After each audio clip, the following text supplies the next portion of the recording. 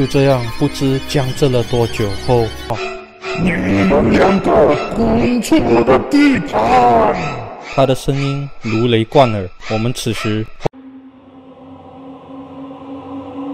嘿，家人们好吗？我阿豪啦。今天的投稿者是小杰，恭喜！好了，话不多说，在开始前，大家帮我按个赞、订阅、留言、小铃铛、分享哦。这个频道会继续定时每周日晚上七点五十分更新。还有啊，想请阿豪喝杯咖啡的，遇到广告可以帮我多看几秒钟哦。这事情是在我十八岁高中毕业暑假的某个南头饭店所发生的诡异事件，但结局却很温馨。大家留守到最后便知。在放暑假的前一个礼拜，我在学校的公告栏上看到一个暑期攻读的招募，工作内容是整理饭店的房间，包吃包住，薪资也不错，而工作地点是去山上的某个饭店。于是我就决定了暑假就去那间饭店打工。第二天，在员工宿舍整理好东西后。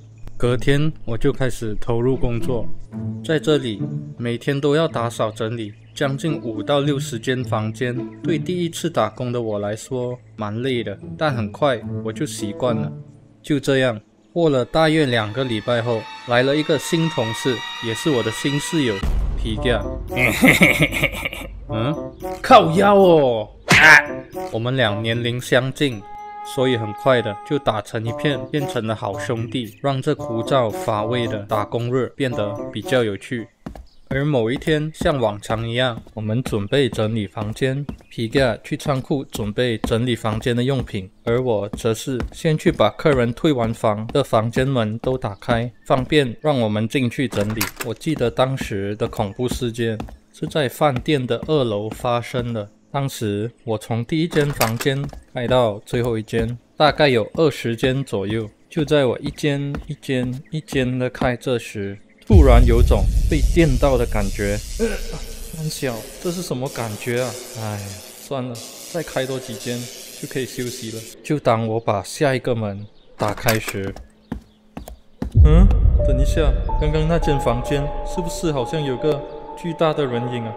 此时我立刻往回走。想查看到底我刚刚是不是看错了东西，结果还真的什么都没有。我松了一口气后，就继续投入工作。刚刚的事只觉得是自己想太多了。很快的，我就开到最后一间房间，皮盖也推着推车把清洁用品送来。当下，我跟皮盖就决定先休息一下，去逃生门外面抽个烟，再继续打扫。哎哎哎，阿豪，看我最近练的新招。切，就这看招，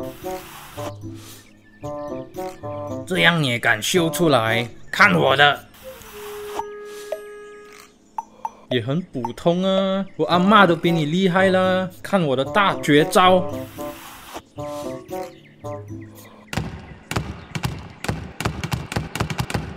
走廊突然传来一阵阵关门的巨响，我跟皮亚都吓到了。我跟皮亚就急忙打开逃生门进去查看，原本开完要准备打扫的二十间房门全部被关上了。我们当下没有多想什么，只是心想可能是有人恶作剧或风吹的吧。我们唯一能做的就只有重新打开全部门。就当我们打开最靠近的房间准备打扫时，一开门。我们就看见一个巨大的黑影站在房间的最尾端，他的身形非常的巨大，而他的脸则是一位苍白的老人面孔。当下，我跟皮亚站在门口愣住了，不敢发声，也不敢轻易妄动。虽然我的脑袋告诉我跑啊跑啊，但我的手脚却不听使唤。就这样，不知僵持了多久后，那个老人的脸突然伸长了颈。巨大的脸孔立刻填满了我们的视线。那个老人互瞪了我跟皮亚几眼后，突然就开口说道：“你们两个滚出我的地盘！”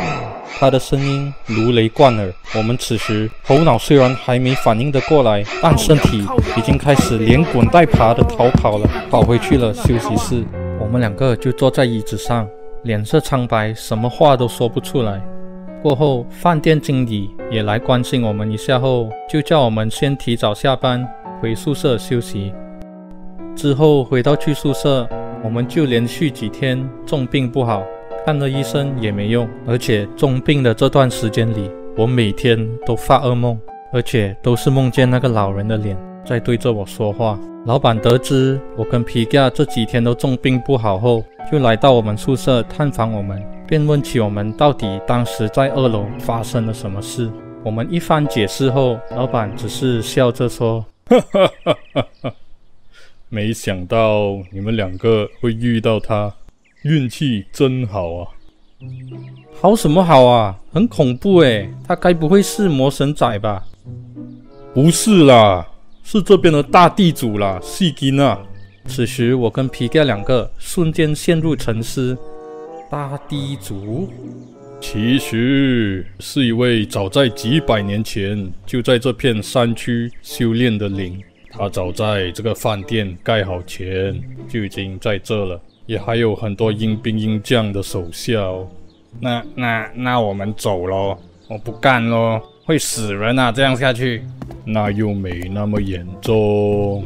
老板说到一半，就走到我们的面前，蹲了下来，认真的问道。